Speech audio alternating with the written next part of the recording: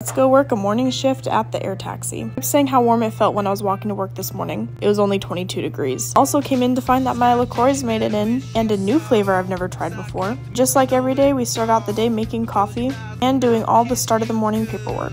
And this was my view when my BeReal went off. It was such a beautiful morning. Kinda hard to see the pink clouds in the back, but man, they were gorgeous. Got a plan late morning and one of our pilots flew in. She gave me this delicious breakfast focaccia bread. It was amazing. Honestly, this whole day was crazy. I was excited to be done for the day and then saw that the mail was ready to be picked up. Of course, I went to go get it. And because it's getting close to the Christmas season and I'm moving, there was a ton of boxes for me. Like this one that said team lift. No, I did that all by myself myself. Took it back to the air taxi, so when my day of work ended, slow peep the traffic.